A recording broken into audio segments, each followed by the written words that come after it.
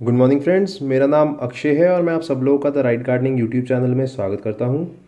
Friends आज की हमारी वीडियो का टॉपिक है मैरीगोल्ड यानी कि गेंदे का जो फूल है उसकी प्लांट केयर आप मेरे सामने जो पौधा देख रहे हैं, जो फ्लावर देख रहे हैं, इसको मैरीगोल्ड बोलते हैं। गेंदे के नाम से इंडिया में बहुत पॉपुलर है।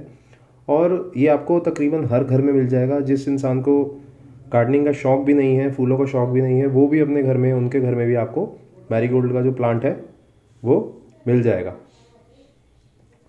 तो आज हम इसी के बारे में बात करने वाले हैं फ्रेंड्स तो प्लीज़ पूरी वीडियो देखिए। और अगर आप लोगों ने मेरा यूट्यूब चैनल सब्सक्राइब नहीं करा है तो प्लीज़ मेरा चैनल सब्सक्राइब कर लीजिए, ताकि आपको आने वाली ऐसी वीडियोस प्लांट के बारे में मिलती रहें। और अगर आप मुझ, मुझे इंस्टाग्राम फेसबुक पे फॉलो करना चाहते हैं तो वहाँ पे भी मैंने डिस्क्रिप्शन बॉक्स में लिंक डाल रखा है, मुझे वहाँ पे भी फॉलो कर सकते हैं। तो चलिए शुरू करते हैं फ्रेंड्स सबसे पहले मैं आपको बताता हूँ मैं इसको कितने का लेके आया और कहाँ से लेके आया। इसको मैं प्लांट नर्सरी से लोकल प्लांट नर्सरी से आपको आराम से गेंदे के फूल मिल जाएँगे सर्दियों के सीज़न में। ये मुझे एक प्लांट बीस रुपये का मिला है। एक, ये भी बीस रुपये का और ये भी बीस रुपये का। ये दोनों डिफरेंट वेराइटीज़ हैं। आप इनके शेड से देख सकते हैं। इसका जो शेड है, बीच में थोड़ा सा मरूनिश है। ये पूरा ऑरेंज है। ऑरेंजिश येलोइश ऑरेंजिश है। यही शेड्स होते हैं इसके। Yellow orange maroon dark dark red इस तरह के शेड्स में जो है आपका मैरीगोल्ड आता है। और इसको अगर मैं धूप की बात करूँ तो मैरीगोल्ड जहाँ पे धूप बहुत तेज़ आती है, बहुत सर्दियों की अच्छी धूप आती है, वहीं पे मैरीगोल्ड ग्रो करते हैं। यहाँ पे, जहाँ पे धूप नहीं आती है, वहाँ पे मैरीगोल्ड अच्छे तरीके से ग्रो नहीं करते हैं। तो आप मेक श्योर करिए कि आपके, आप जहाँ पे भी मैरीगोल्ड रखें तो उनकी लोकेशन ऐसी हो जहाँ पे अच्छी खासी धूप आती हो, जो इसके प्लांट की ग्रोथ के लिए इंपॉर्टेंट है। अब मैं बात करता हूँ फ्रेंड्स इसकी जो मिट्टी है, वो कैसी होनी चाहिए? मिट्टी आपको इसकी वेल ड्रेन रखनी है, दलदली नहीं बनानी।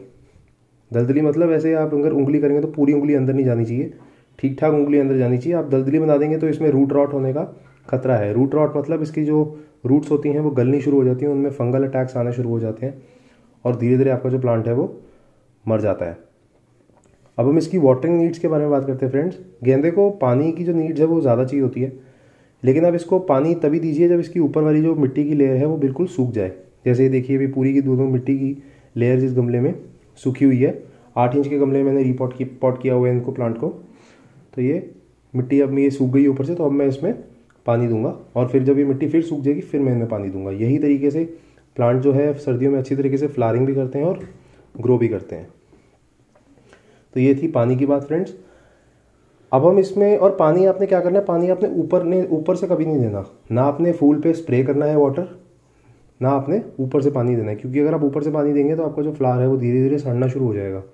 क्योंकि सर्दियों में ठंड ज़्यादा होती है तो वो पानी जो है, वो मॉइस्चर ट्रैप होने की वजह से धीरे धीरे जो है, वो प्लांट काला पड़ना शुरू हो जाता है और उसकी जो ग्रोथ है, उस पर फंगल अटैक्स भी बहुत कॉमन हो जाते हैं। तो आपने हमेशा जड़ों के पास से पानी देना है, यहाँ से पानी देना है, ताकि प्लांट अच्छी तरीके से उसको एब्जॉर्ब कर सके। अब हम इसकी फर्टिलाइज़र की बात करते हैं फ्रेंड्स गेंदा वैसे तो बहुत हार्डी प्लांट है, सबसे ज़्यादा हार्डी एनुअल प्लांट है ये, और इसमें आप महीने में एक बार गोबर खाद दे दीजिए या वर्मी कंपोस्ट दे दीजिए, इस प्लांट के लिए बहुत ही अच्छी ग्रोथ करेगा। और अगर आपका जो मैरीगोल्ड का प्लांट है, वो बहुत ज़्यादा बुशी है तो आप उसको रेगुलर ट्रिमिंग भी कर सकते हैं ताकि उसकी जो ग्रोथ है, वो ठीक तरीके से होती रहे, वो ज़्यादा बुशी ना बने। अभी तो ये छोटे प्लांट हैं, वैसे बुशी नहीं बने हैं, लेकिन जब ये बुशी हो जाएँगे, थोड़े ग्रो कर जाएँगे, अच्छे बड़े हो जाएँगे, ये देखिए, नई बड भी आ रही है तो मैं इनकी रेगुलर ट्रिमिंग करूँगा।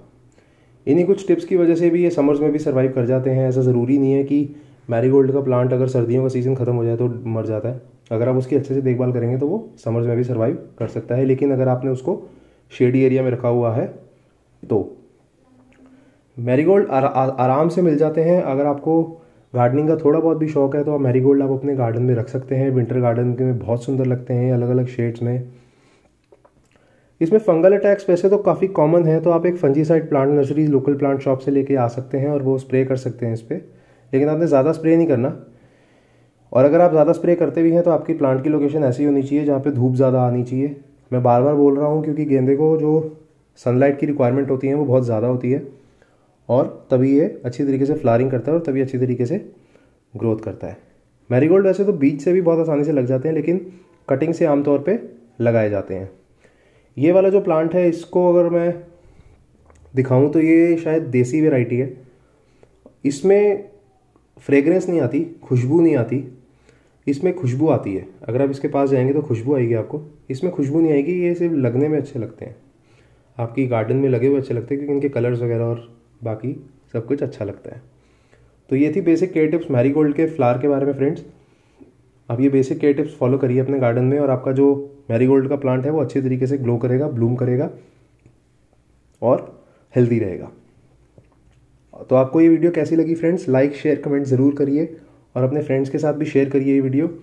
और अगर आपने मेरा यूट्यूब चैनल सब्सक्राइब नहीं करा है तो प्लीज़ मेरा चैनल सब्सक्राइब कर लीजिए ताकि आपको और आने वाली प्लांट की वीडियोज़ ऐसी ही मिलती रहे।